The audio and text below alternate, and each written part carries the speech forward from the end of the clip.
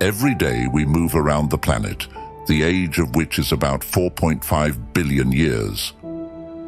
While the genus Homo sapiens official science gives no more than 200,000 years. But even for a tiny, by the standards of history term, we have managed to spoil the Earth. Especially, the process of littering the planet intensified in the age of industrialization. We have not only polluted the world's oceans with islands made of industrial plastic, filled the atmosphere with toxic fumes from factories and cars, cut down trees en masse and made the soil unsuitable for planting plants. The hands of the Earthlings were so long that they even reached the orbit of their own planet. In the 21st century, several garbage rings have formed around the Earth, which interfere with the work of satellites and interplanetary stations, often damaging them. And if we mention the gloomy nuclear slag storages, where elements with millennia-long half-lives are lurking, the picture becomes quite depressing.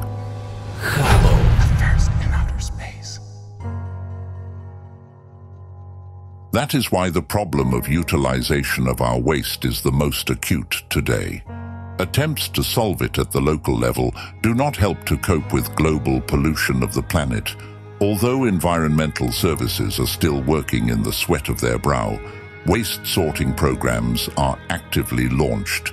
Waste processing plants are being built.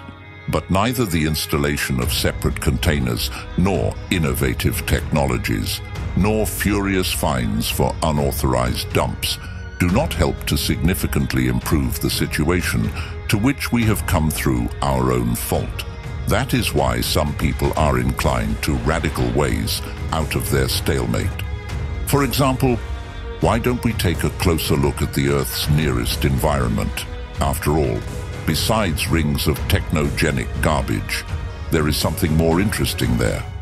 In relative proximity to the Earth, a huge furnace is burning with hellfire, capable of consuming not only the Earth's garbage, but all the planets of the star system taken together. As you may have guessed, it's the Sun. Maybe we should try and send the Earth's annoying crap straight there? In principle, it is possible, but with the current technical development of human civilization to implement a useful mission, is hampered by insurmountable barriers. So, what prevents us from getting rid of garbage without polluting the atmosphere and orbit of our own planet with poisonous combustion products? It's very expensive. Problem one is the sheer unprofitability of the process. The heaviest rocket today can carry no more than 7,000 kilograms of foul-smelling containers on its board. Its launch costs about $200 million, but we are not going to leave the garbage only in orbit. There are still 150 million kilometers to the sun ahead. So, in order to prevent the Earth from turning into a planet dump from the cartoon about Robot Valley, we will need 168 million rockets with technical characteristics similar to Ariane 5 that means that Earthlings will have to shell out $33 trillion, and the result will not last longer than a year. This is an unthinkable price, which we are not ready to pay. And besides, the expensive ship, as you understand, will also be lost irretrievably. In addition, consider that if you deliver the cargo directly to the sun, the cost will increase tenfold. But this is far from all the woes associated with such an idea. Local risks. Remember the disaster that happened in January 1986 in the sky above Cape Canaveral and shocked the world. Then, at the 73rd second of the flight, at an altitude of 14 kilometers shuttle, Challenger suddenly exploded. All eight crew members were killed. The magnitude of the tragedy is even now beyond comprehension. Why do we bring it up? It's simple. No one is immune to malfunctions, breakdowns, and force majeure. Imagine what would happen if a rocket carrying nuclear waste to destroy it in the sun's insatiable vortex suddenly crashes. It does not matter whether it happens right at the start, in the Earth's atmosphere, or in orbit. the consequences would be equally irreparable. For example, the American bomb Baby, which exploded half a kilometer above the center of Hiroshima in 1945, instantly killed tens of thousands of people.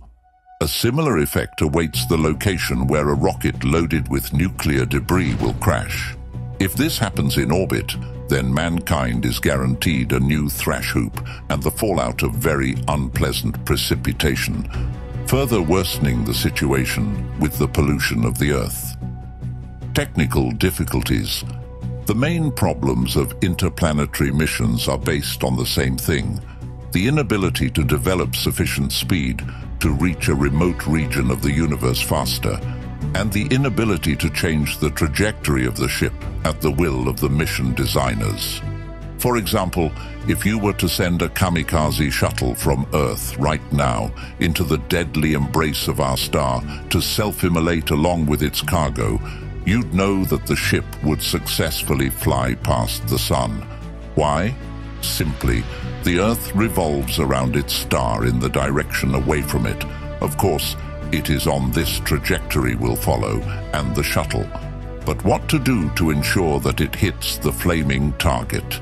Necessary gravity maneuver, the implementation of which requires, again, a lot of time and money, should send a cargo rocket to the planets of the outer solar system, where the speed of the ship will slow down a little and then accelerate it with the help of engines, set the exact vector of motion and the shuttle figuratively speaking, will shoot, as from a slingshot. After a while annoying the inhabitants of the Earth garbage along with tons of iron cladding and onboard equipment, will collapse directly into the sun, forever drowned in its orange depths. These problems lie on the surface and become obvious now, when the garbage mission has not even begun. Most likely in the process of its organization will arise even more complexities and inconsistencies. Therefore, for now, the sun for us is only a source of heat and light, but not an incinerator. So we will have to stop accumulating unnecessary things, optimize the work of industrial facilities, and make it a rule to recycle garbage. And it must be done urgently and on a planetary scale. Can the above risks be avoided? Some, yes. For example, building a space elevator would partially solve the problem with putting garbage cargoes into orbit, but other difficulties will still have to be eliminated. Perhaps you have some fresh ideas on how to do this. Then feel free to head over to the comment box and don't forget to put a like. Until new, even more exciting and informative issues. The more electronic thumbs under this video, the more comments on the topics for new videos, the more new interesting releases are released on the channel, so do not skimp on the activity. And see you soon.